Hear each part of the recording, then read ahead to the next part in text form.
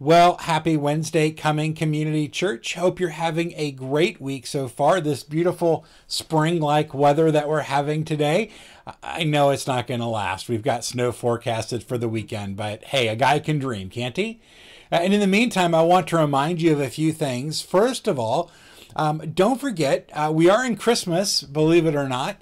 And so on the 24th of uh, this month, Christmas Eve, we will still have our Christmas Eve service. Uh, so we invite you to come. We're going to be socially distant. We're going to, you know, encourage folks wearing the masks and washing our hands and staying distant and all that kind of thing. If for some reason you're not able or not comfortable joining us, just like on Sunday morning, we are going to stream the service as well. Uh, so that should be uh, a blessing to those.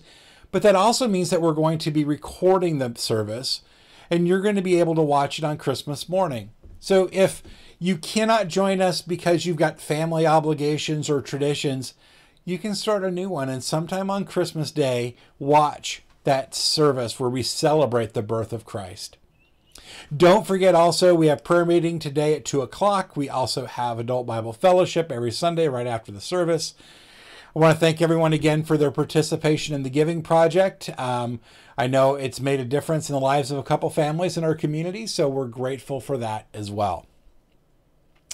With that out of the way, I wanted to talk a little bit about how this season, this Christmas, actually allows us to do what I think Christmas was intended to do, which was to provide rest. And I get that idea from Hebrews chapter 4. I'm going to read uh, for us um, in particular verses 8 to 11, but we'll talk a little bit more about some other passages there as well. So, this is the Word of God from Hebrews chapter 4, verses 8 to 11.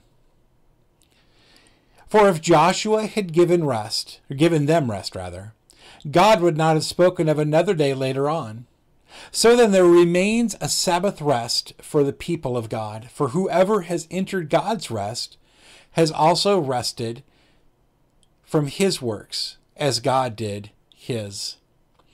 Let us therefore strive to enter that rest, so that no one may fall by the same sort of disobedience. Let's pray. Gracious God, I thank you for today and this word. Um, again, I pray that you would illuminate my eyes and heart to see its meaning so that I may share it with others. For your glory. Amen.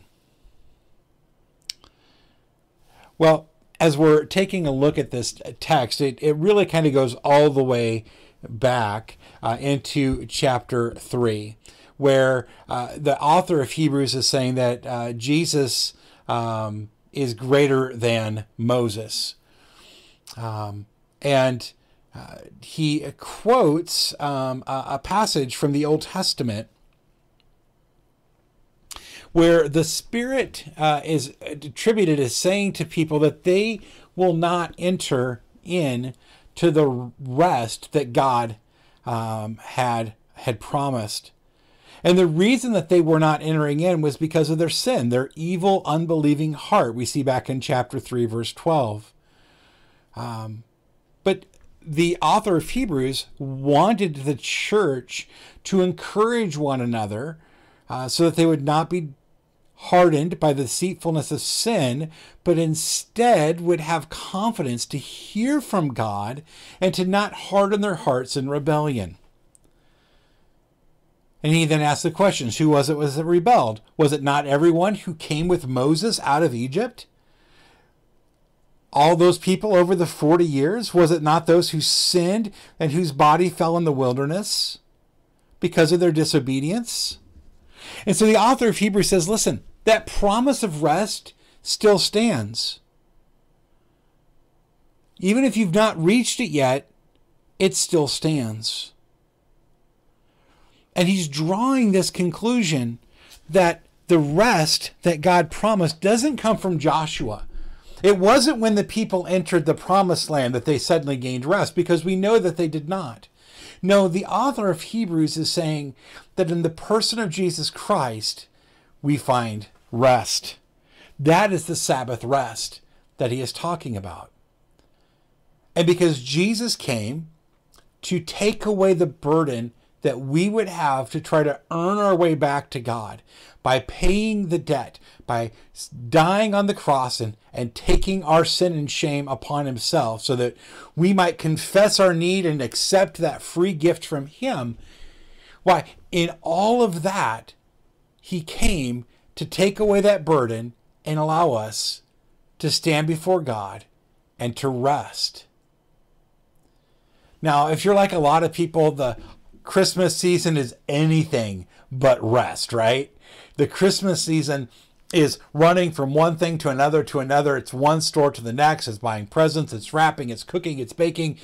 It's all of these things. Well, this year it's a little different, isn't it? We probably aren't running from store to store. We might be going from website to website, right?